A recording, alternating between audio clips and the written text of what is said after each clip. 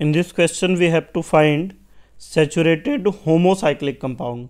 So saturated compound have carbon carbon single bond and homocyclic molecule have all the atom identical in ring.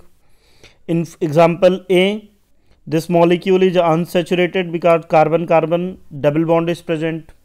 In option B this molecule is saturated but heteroatom nitrogen atoms are present so this is heterocyclic compound in option D, this molecule is having carbon double bond carbon. So this is unsaturated along with heteroatoms are present.